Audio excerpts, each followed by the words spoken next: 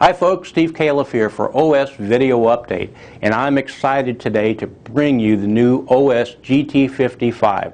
This is OS's first gasoline engine, and it is one heck of an engine. Right off the bat, you'll notice there's a one thing in particular different than this and most of the other gasoline engines on the market today, and that's this front-mounted carburetor.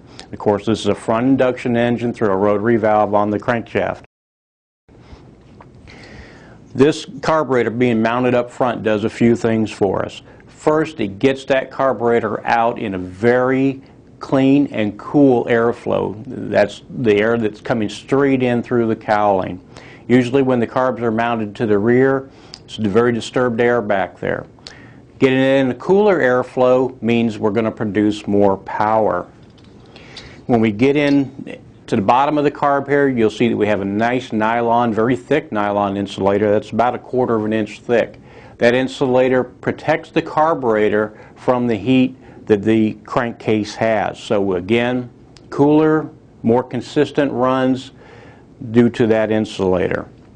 Of course, we have this big venturi that helps ram the air smoothly into the carburetor. It actually straightens the airflow as it goes in. Looking at the throttle arm and the choke lever here, you'll see that they are positioned in such a way that they're going to fit your installation real well. Another neat thing about the throttle arm is that you can remove this single screw, turn the engine around, remove this screw, and actually move the throttle arm over to this side. So very convenient for you there. Looking at the front of the engine, on the front of the carburetor you'll see that OS has installed this nipple here. What that allows you to do is if you're getting inconsistent runs due to disturbed airflow flow through your cowl, you can attach a line to this, vent the line over the side, and the engine's then going to be picking up very fresh air into the carburetor or into the diaphragm itself. If we look on this side of the engine, you'll notice if we look inside, you can see a very thin piston ring. And again, that's done for more power, greatly reduced friction because of this very thin piston ring.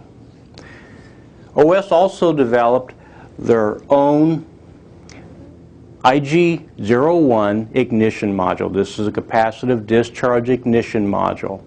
Uh, real nice module. One of the unique features of this module is that it will handle from 4.8 volts to 7.4 volts.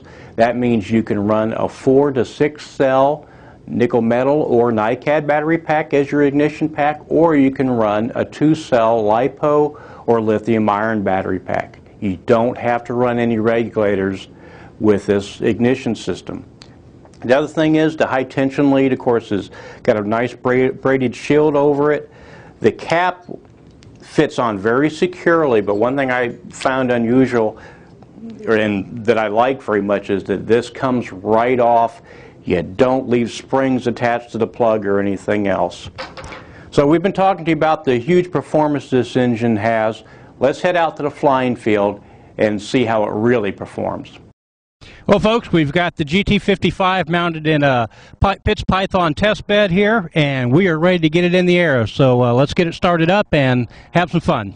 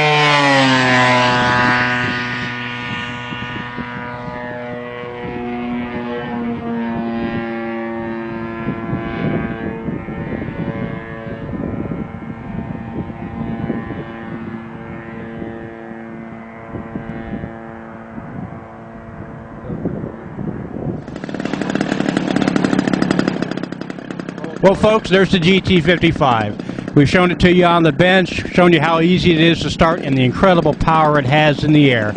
So for OS Video Update, I'm Steve Kaluf.